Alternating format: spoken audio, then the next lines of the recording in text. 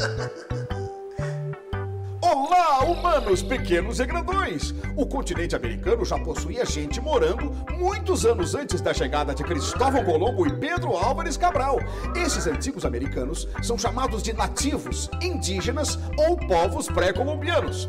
O fóssil, é, o esqueleto, né, da primeira brasileira foi encontrado no interior de Minas Gerais. Era uma moça com mais de 11 mil anos de idade. Puxa, que vovozinha, hein?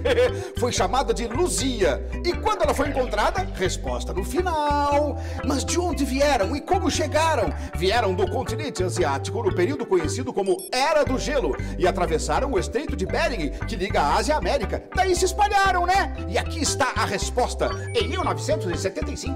Até o próximo fabuloso mundo do Zecão!